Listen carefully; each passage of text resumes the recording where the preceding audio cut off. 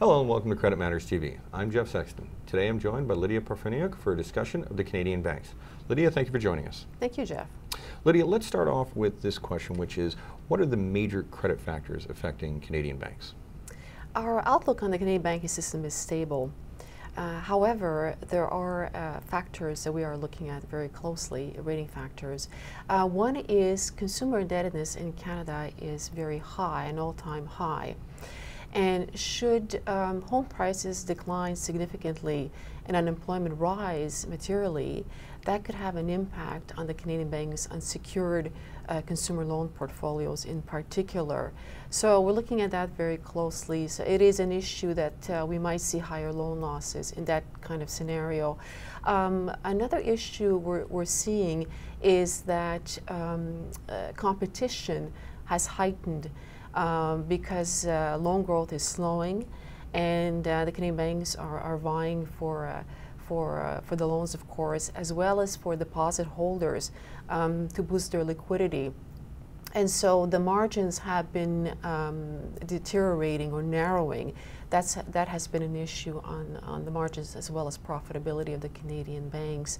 Um, and then revenue growth has been slowing as well. So uh, we believe the Canadian banks will be making a greater effort this year to cut costs further. So where does regulation actually fit into the picture?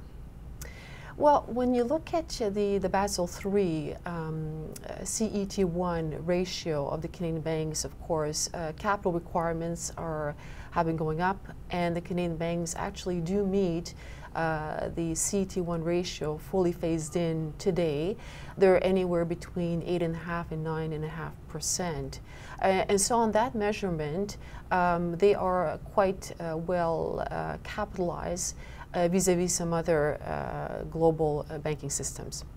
So where does the, a lot of been talk in the news about the bail-in system potentially in Canada. Where does that actually fit into the picture? How does that impact our mm -hmm. ratings? Well, we're waiting for the bail-in to be introduced in Canada, and we believe that it may be introduced later this year. And um, the way this might factor into our um, uh, ratings of the Canadian banks is that we will have to um, review the support that we give to the Canadian bank ratings in terms of uh, uh, extraordinary government support notching. So we talked a little bit about capital before. Let's go back there. Um, how are the Canadian banks faring in terms of capital? I just discussed Basel III capital ratios. We have our own proprietary measurement, the RAC ratio, risk-adjusted capital uh, ratio. And on that uh, front, they're only adequately capitalized.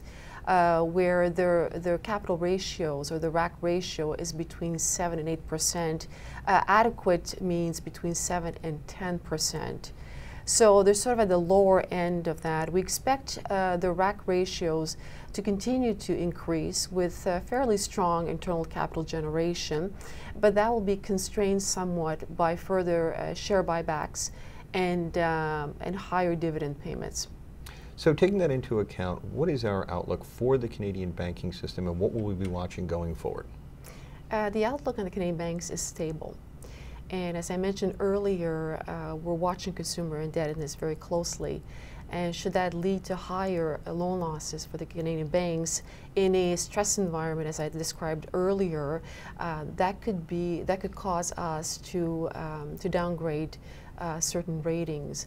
Uh, also, heightened economic and industry risk factors uh, would play into that as well.